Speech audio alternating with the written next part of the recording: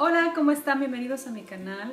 Sí, lo sé, mi maquillaje es un desastre, pero les quiero contar un poquito la historia del por qué estoy maquillada así. De que a todas nos ha pasado que tú tienes un evento especial, unos 15 años, una boda, algo, algo muy especial en el que a ti te emociona mucho y tú tienes que estar ahí puntualmente porque eres una persona importante, ya sea la dama, ya sea, no sé, eres una persona importante.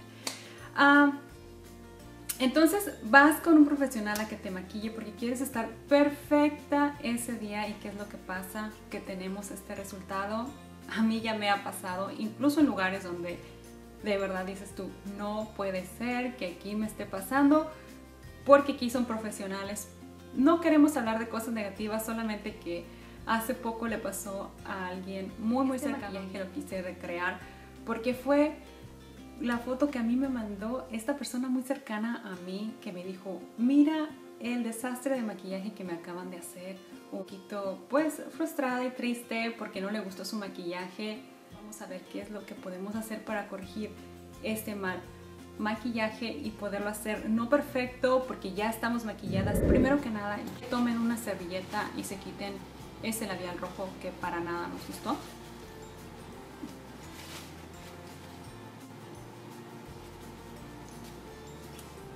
Segundo, puedes tomar un espejo y checar, bueno, la base de maquillaje está bonita, va de acuerdo con mi, con mi color de maquillaje, así que no la tenemos que mover para nada. El blush está muy, muy, muy fuerte, no tenemos ningún contorno, entonces quitar un poquito de nuestro blush que no nos gusta. Si tienen un poquitito de su base de maquillaje, les recomiendo que usen un poquitito más en esta parte. Tomen su esponja para corregir ese rubor que no nos gustó.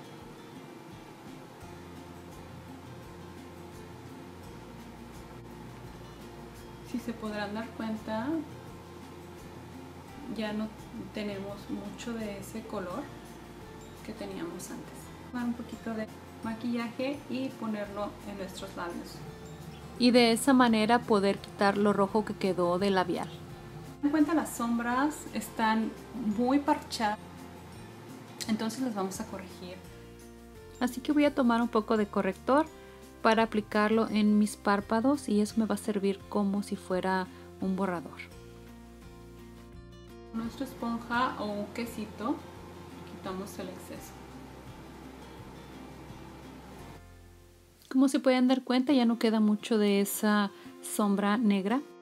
Nuestra brocha para difuminar y un color más clarito del que nos habían puesto lo vamos a poner encima. Para darle un poco más de calidez a nuestros párpados lo voy a aplicar solamente arribita de la cuenca del ojo. Recuerden difuminarlo muy muy bien y tener mucha paciencia para este paso.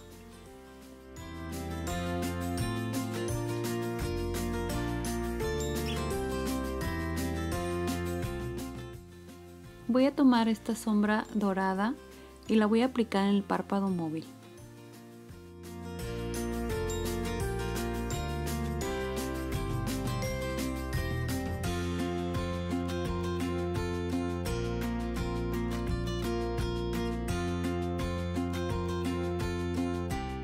Voy a difuminar esta raya negra.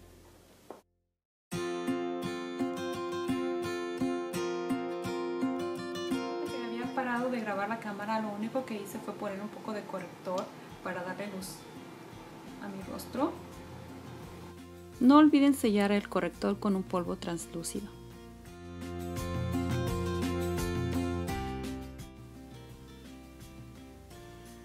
Ahora voy a aplicar bronceador para hacer el contorno en mi cara. Lo voy a estar difuminando hacia arriba.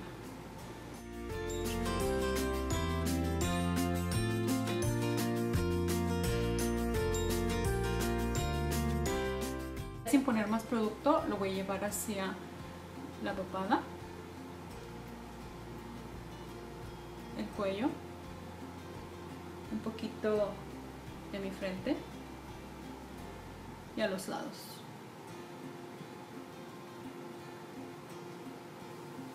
sin olvidar aplicar también en la nariz. Voy a tomar un poco de este rubor y lo voy a aplicar muy ligeramente.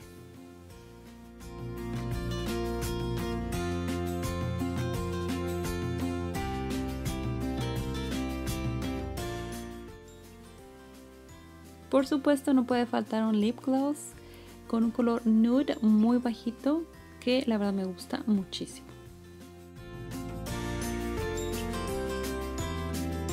Sé que dejé un poquito atrás la parte de los ojos, así que vamos a continuarla. Vamos a tomar nuestro lápiz negro. Lo voy a aplicar muy ligeramente y pegado a las pestañas.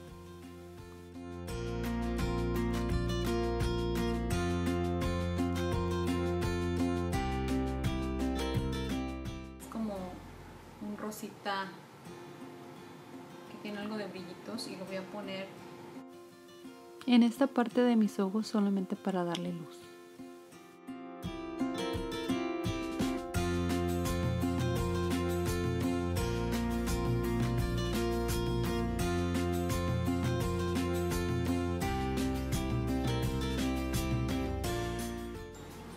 La parte de las cejas no me gusta mucho que están tan tan marcadas, así que las voy a difuminar también. Para esto lo único que tengo que hacer es cepillar mis cejas.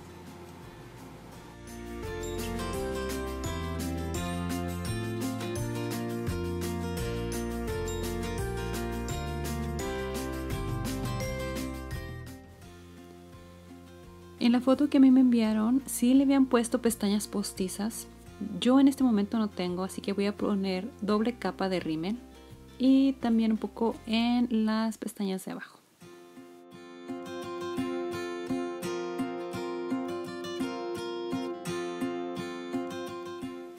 Y pues así fue como quedó este maquillaje ya corregido. Espero que les haya gustado muchísimo, que les haya servido de algo lo que yo hice en su momento. Ya saben que los quiero mucho, les mando muchos besos y nos vemos en el próximo video.